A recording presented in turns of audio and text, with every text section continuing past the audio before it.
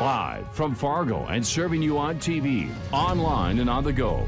This is Valley News Live at 10. When they're moving that quickly, it's telling me that there is a market for that type of home. The average price of a home in West Fargo is $359,000, according to one local realtor. While not everyone agrees on that figure, they can agree that for a lot of people, that price point is out of range. Valley News Team's Veronica Marshall looks into what might be driving home prices so high and why some say it should not stop you from buying a new home.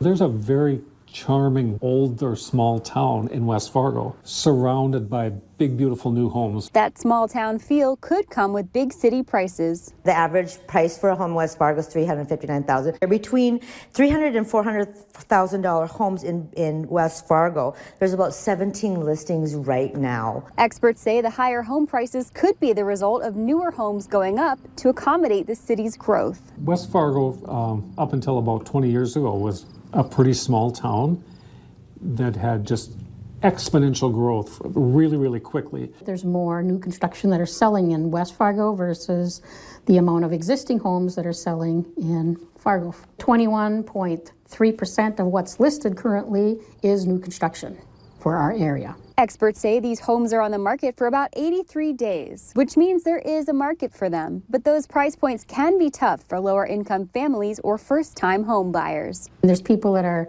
in um, low income jobs. Uh, you know, they're not going to be able to afford those that are in that, that range. It's a little harder for the first time home buyers getting their feet wet. This West Fargo home is $745,000. But realtors say don't let price tags like these stop you from looking for a new home. I always say, you know, get, get in the house that you can afford now, build some equity, and then three, four years down the road, you can upgrade and get into the house that you really want. And for the first time in a long time, the market is helping families out. If you have a home under $200,000, it's a good time to sell that home because you're going to get good money for your home. And it's a good time to buy if you're going to buy in the $300,000 range because the homes tend to sit a little bit longer. Therefore, you're going to get a little better price. Veronica Marshall, Valley News Live.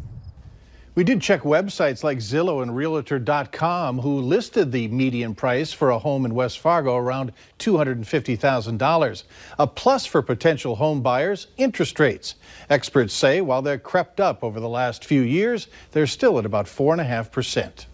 Here's a follow up to a story we brought to you over the weekend. One man claimed the Fargo Baymont Inn and Suites had unacceptable conditions. He complained that he was switched to four different rooms because of problems like no air conditioning, dirty rooms, and even mold. Today, we spoke with the manager of the Baymont who walked us through the hotel. They said the man was just looking for a free stay. They claim the issues the man complained about do not exist. I know our reviews aren't that great online, and that's something that I have an entirely new management team working to change. So we did everything we could to accommodate the hunters, and nothing we did was going to please them. When our team was walked through the hotel and into two of the four rooms that the man stayed in, aside from a couple stains on the carpet, we found nothing. The temperature is dropping quickly, definitely cooling off out there. Hutch, cool enough for a jacket maybe tomorrow morning, or do we need to tough it out? Well, we certainly can tough it out, but some 50s are expected in a few spots as we go through the overnight, even some 40s. Right now, 77 in Minneapolis, the hot spot. It is 61 in Fargo. There is a lonely sprinkle working its way through the Breckenridge Wahpeton area right now as it pushes to the east into Wilkin County and onward towards Otter Tail County. That's about the lone activity we'll see, minus the chance for some patchy fog developing from the Red River Valley mainly into Minnesota. Coming up, we'll have details on a warming trend that's going to take hold as we close out our work week. Warming twin sounds good. Thanks. You bet. Minnesota voters went to the polls for today's primary election to determine which DFL and Republican candidates for governor will face off in the general election this November. Mark Dayton decided not to run again. For the Democrats, with more than a third of the votes counted, Tim Walz leads over Erin Murphy and Lori Swanson is in third. On the Republican side, former Governor Tim Pawlenty trails Jeff Johnson. Johnson with 53%, Pawlenty at 44. Among Minnesota Democrats, there's only one choice for U.S. Senate. That's incumbent Amy Klobuchar with 95%.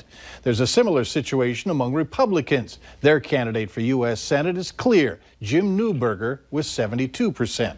And in Clay County, the race to replace longtime Sheriff Bill Bergquist. The top two vote getters move on with 54 of 58 precincts reporting. It's Scott Steffes and Mark Empting leading. And for all of the results from today's Minnesota primary, go to our website at valleynewslive.com. We'll have a live report later in this broadcast from one of the key races coming up with Peter Zampa. That's in just a few minutes.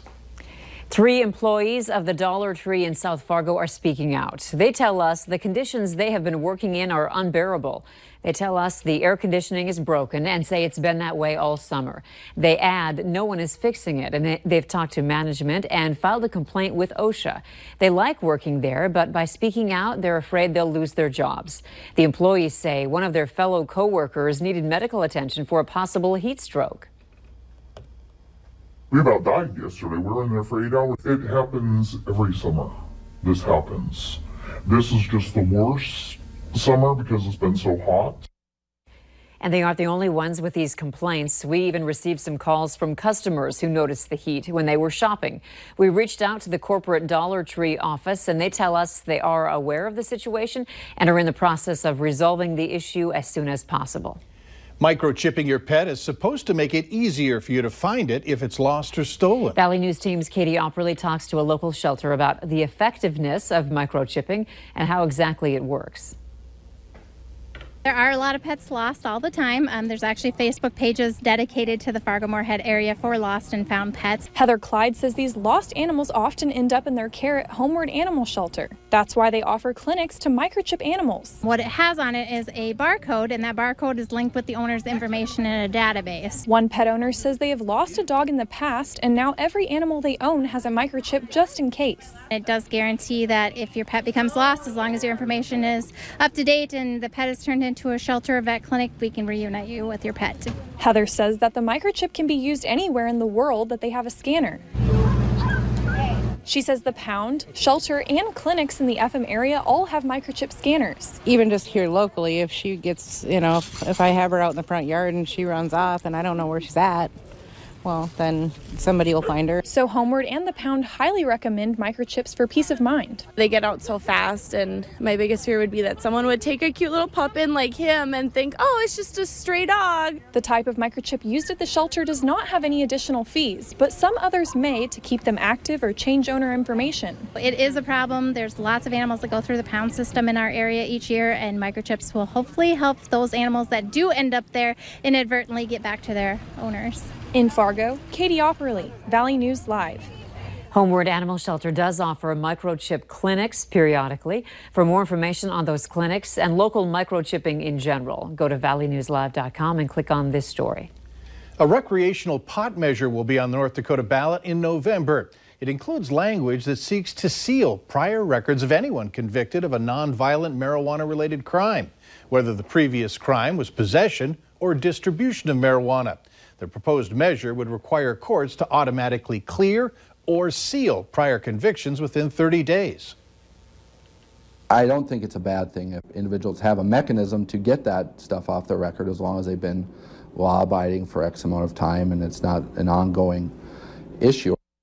If the North Dakota recreational marijuana measure passes, it would be placed into the North Dakota Century Code statute without the ability to change it for up to seven years, unless there's a two thirds majority vote to repeal it. A popular mobile library made, it, made an end of summer stop this evening in West Fargo, giving families a reason to stop by for food, games, and activities and to celebrate the joy of reading. The Little Red Reading Bus allows people to check out books during the summer, serving as a fun library on wheels. The West Fargo Police and Fire Departments also sent over some special guest readers. It's not just the skill to read, but the will to read. And it just takes a good habit and to keep that going. And kids roll right into the school year with less of a lag, less of that summer slide. The Little Red Reading Bus is a project of the West Fargo Educational Foundation. Minnesota taste testers are getting a crack at elevating the new McDonald's breakfast sandwich. That's later on Valley News Live at 10. And some competitive races in Minnesota's primary election. We'll have a live report up next.